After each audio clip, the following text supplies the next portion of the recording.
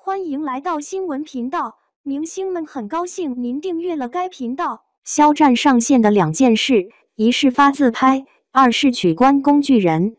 肖战与粉丝之间真的是一种相亲相爱的家人朋友的感觉，甚至我们也能感受到小飞侠们越来越胆大妄为，不仅经常跑到小事的博文下面评论，要求开仓放量，就连正主放粮之后。都胆敢指指点点了，这是不是就叫飘了？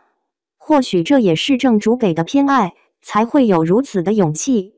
肖战虽然是偶像，但他身上却一点偶像包袱都没有，甚至还经常是小事跟在后面拾起包袱，把肖战丢掉的形象一一捡起来。在肖战最新的视频动态中，就再一次的感受到肖战与粉丝之间的相处模式。真的是爱到极致，这样轻松愉快的正主与粉丝的互动，真的在其他明星身上很少见。这是又一次跟上潮流的变装特效，但没想到肖战竟然刚开始就翻车了，在转手电筒的时候没接住，掉在了地上。结果粉丝就在评论区开始大声的嘲笑，还纷纷称肖战帅不过三秒。这胆大妄为的评论竟然出自小飞侠之口，难道下次不想看正主的新物料了吗？不仅如此，粉丝们还整理了肖战各种翻车合集，果然要说会还是小飞侠更会一些。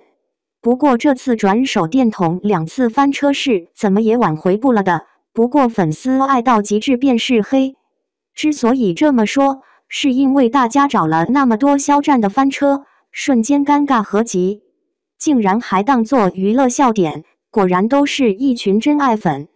但肖战是谁啊？他可是肖战，只要他不尴尬，尴尬的就是你。肖战已经好几天没有主动营业，这次好不容易发了惊喜动态，没想到竟然得到粉丝们如此的反应。看来小飞侠真没把自己当外人，更没把肖战当外人。像这样与粉丝们的相处模式，真的就像下面这张海绵宝宝图片，大家坐在一起，欢乐氛围浓浓。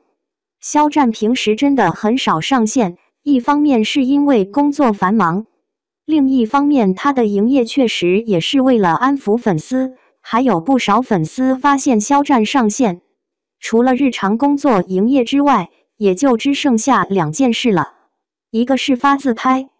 另一个就是取关工具人。当看到肖战频繁上线取关微博小秘书这个工具人的时候，不少粉丝都表示真的想当这个工具人，可以频繁的被肖战翻牌。这个小秘书这个工具人真的不是人为控制操作的，但对于有一些强迫症的肖战来说，每次看到之后一定会取关。要问为什么，那就是任性。这多多少少也和肖战未进娱乐圈之前的设计师这个职业有关。就像肖战每一次发照片或者是画画的时候，都一定要讲究一个对称性，所以这样莫名其妙出现的关注，自然不可能留下他。不过每次都能得到肖战如此细微的特别的关注，这也是让粉丝们很酸的一件事。虽然做不了那个特殊的唯一。但是能做个之一也很好，是万千小飞侠们的其中之一，是一同守护和支持肖战的小飞侠之一。